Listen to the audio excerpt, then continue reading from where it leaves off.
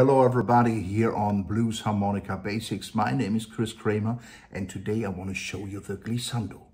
Like a guitar player slides on the strings of his guitar or piano player over the keys on the piano, we slide over some channels on our harmonica. I have harmonica in C and uh, glissando means you slide over some channels and you stop, and this is the most important part, on a single note. And I choose a single note channel 5 draw, the F.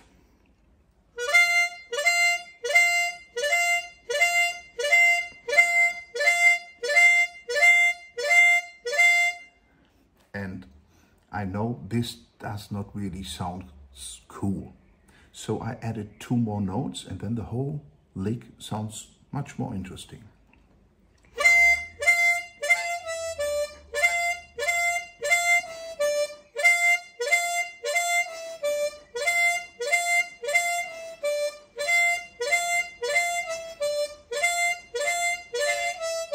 And now I play the same lick without the glissando and then you will recognize that it doesn't sound that cool.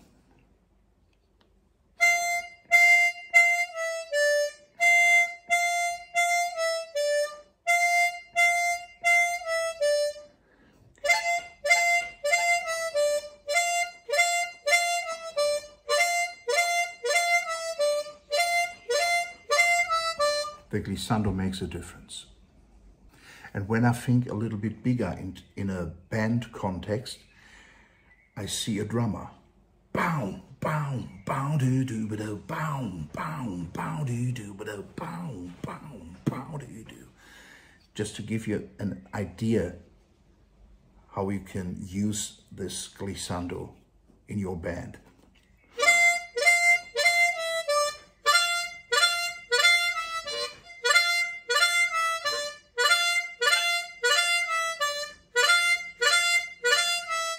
And here another lick or another riff. It's a little bit longer. It sounds like this.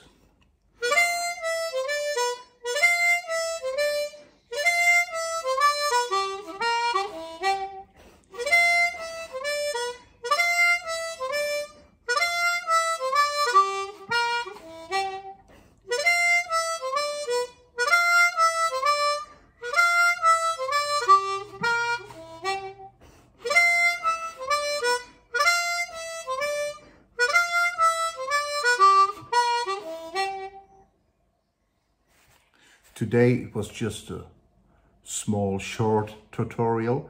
I hope I could help you a little bit. I could give you some inspiration and um, I hope we see you again next week. I'm happy if you give me a thumb up and uh, maybe you can uh, look for me for Chris Kramer uh, somewhere on the streaming service of your choice and you will find my music and it would be great if you can listen to some of my CDs and we see you again here next week. Good luck and stay safe.